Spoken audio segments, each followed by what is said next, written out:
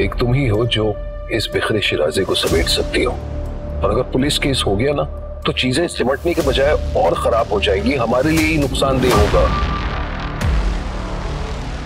मेरे अंदर इतना सब्र नहीं है कि पुलिस की कार्रवाई का इंतज़ार कर। मैं खुद अदालत लगाऊँ।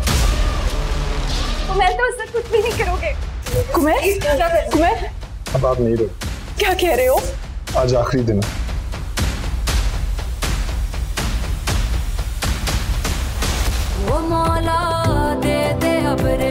देखिए हादसा आज रात सात बजे। सिर्फ़ जियो पर।